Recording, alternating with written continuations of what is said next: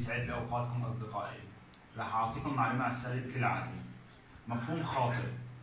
هل حمامات الساونا والبخار وأحزمة البطن تؤدي لخسارة الوزن؟